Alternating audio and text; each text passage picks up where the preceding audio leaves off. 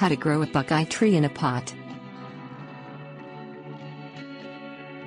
Ohio buckeye Aesculus glabra is noted for its glossy, chocolate-colored seeds that feature a tan eye. Native Americans likened the seed to the eye of a buck, hence the name buckeye. It grows in U.S. Department of Agriculture plant hardiness zones 4 to 7, and seeds require a chill period to germinate, making September and October the ideal time to collect ripened seeds and pot them. Leave buckeyes in seed pods until ready to plant to prevent them from drying out.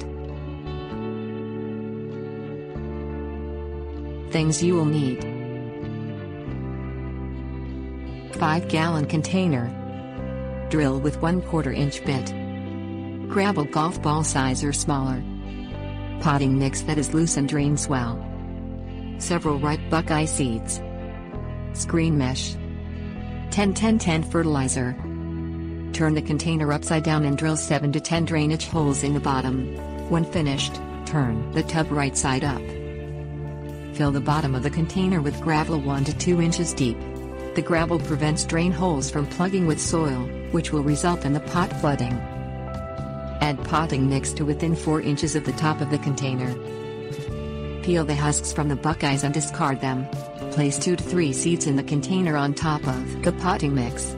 Buckeyes have a 50% germination rate, so planting extra will ensure at least one germinates. Cover the seeds with 3 inches of potting mix.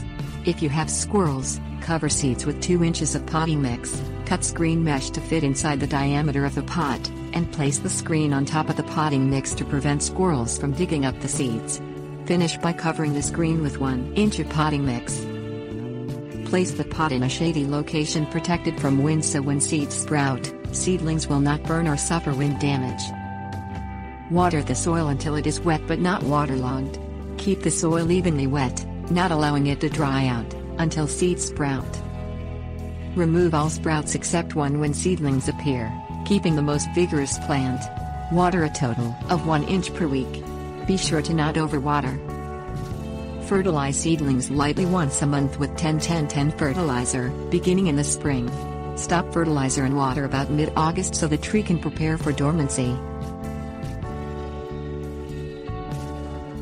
Tips Warnings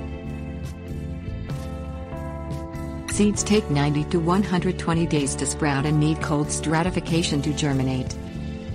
Never use buckeyes picked directly from the tree they are not ripe and will not sprout. Transplant the tree into the ground when you can see roots growing out of the drain holes. Use a potting mix that does not contain compost. Compost is not well suited for growing plants in pots.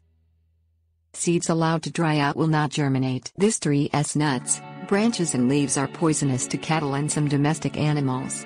Deer avoid this plant because of its toxic nature.